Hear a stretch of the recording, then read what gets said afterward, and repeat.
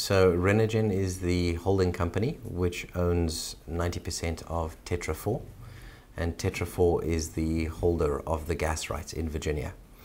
So Tetra 4 entered into an agreement firstly with Linde Engineering for the procurement of um, specialized plant and equipment to be manufactured which allows us to separate helium from our natural gas stream. The next contract that we entered into was with Linde Global Helium, which is a New York-based company, and that is for the sale through an offtake agreement of all of the helium that's produced by the facility. The final agreement that we entered into was with Afrox, whereby Afrox will operate and maintain the plant in question.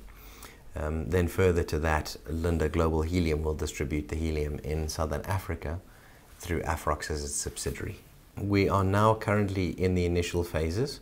We've recently con uh, completed construction of our first compression station and uh, we've compressed South Africa's first onshore natural gas, which is a, which is a major milestone. So for the rest of the year, we basically are running through the motions of proof of concept to show that the, um, that, uh, that the concept works by delivering gas to our first client in the form of Megabus. And from here, we are running through the motions of our envi environmental impact assessment, which will see us obtain approvals for the construction of a pipeline to reticulate our network um, of gas wells to one centralized point for processing. Um, that then leads us into phase two, and phase two will be construction of the pipeline along with a much larger compression facility which will be able to accommodate all of the gas. In terms of the Virginia gas fields, it's certainly not a large enough gas field to, to have a meaningful impact on South Africa's GDP. Um, what, what we see um, Tetra 4's role as being is to really show the rest of the South African community that adoption of gas could actually be beneficial to the country as a whole. So basically, it's that whole early adopter um, um, scenario gas is being used everywhere else across the world and very successfully.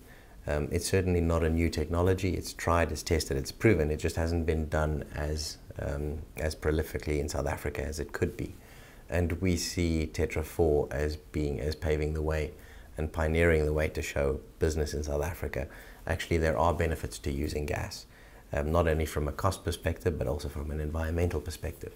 And we really see that as being the biggest addition to the South African gas economy.